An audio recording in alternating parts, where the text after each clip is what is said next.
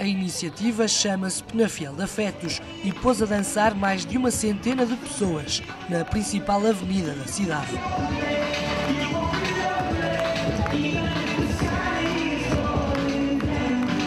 O objetivo era despertar os cidadãos para a problemática do cancro e por isso as danças foram feitas de lenços na cabeça, no sentido de acabar com os preconceitos relacionados com a doença.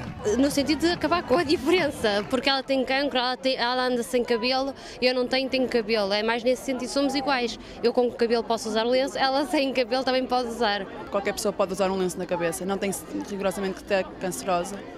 Acho que é mais por aí. Normalmente, quando se vê uma pessoa com lenço, vem sempre a, a ideia que aquela pessoa tem cancro. E, e, é, de certa forma, hoje estamos aqui todos com um lenço para retirar um pouco essa ideia. Afinal, nós não temos vergonha também de usar o lenço. O autarca Alberto Santos também se juntou à dança dos lenços e o sentimento era um dos melhores.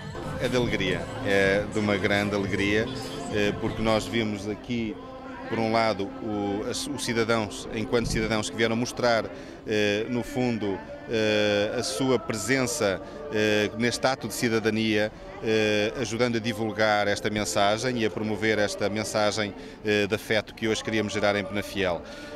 E ficamos satisfeitos por vermos a rua assim tão colorida, cheia de alegria, por causa de uma coisa que normalmente está estigmatizada com o lado negativo da vida. Também no mesmo dia, em Penafiel, foi apresentado o livro Vencer o Cancro, da jornalista Lúcia Gonçalves.